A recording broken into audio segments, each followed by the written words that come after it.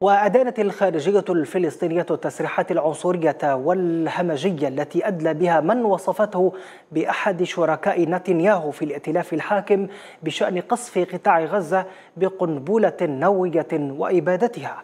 واعتبرت الخارجية في بيان صحفي الأحد تصريحاته إعلانا صريحا وإقرارا واضحا بما يقوم به الاحتلال ضد الفلسطينيين على امتداد الجغرافيا وتحديدا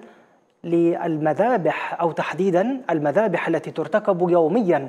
ضد المدنيين في قطاع غزة وانعكاسا واضحا لحملات التحريض التي ينادي بها أركان الحكم في الكيان الصهيوني لتدمير قطاع غزة وتهجير سكانه. وأكدت الخارجية الفلسطينية أن هذه التصريحات تترجم حرب الإبادة التي تشنها قوات الاحتلال على قطاع غزة منذ ثلاثين يوما